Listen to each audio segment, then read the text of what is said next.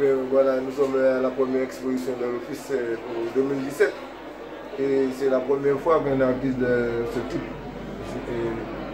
à peu près cinétique, je vient nous exposer son art. Parce que l'art est, un mouvement, quand bien même que les tableaux sont fixés. C'est une nouvelle technique que j'ai appris ce soir. Et je félicite l'artiste et également tous ceux qui sont venus apprécier cet artiste à cette exposition 2017, la première exposition 2017 de l'ONCL clin d'œil euh, aux étoiles, c'est un clin d'œil à Proxima du Centaure.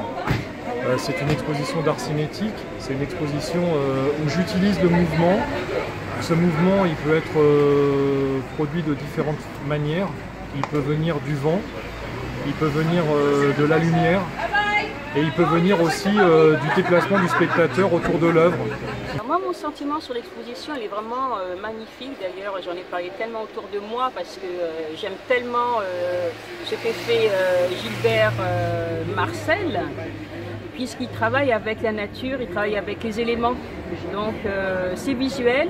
Il y a les sens qui sont là et c'est vraiment magnifique. Donc, suivant comment on se déplace, par exemple, par rapport à sa créativité. On voit différentes euh, figures et je trouve ça euh, magnifique. On, s'en lasse pas. Du moins, moi, je m'en lasse pas.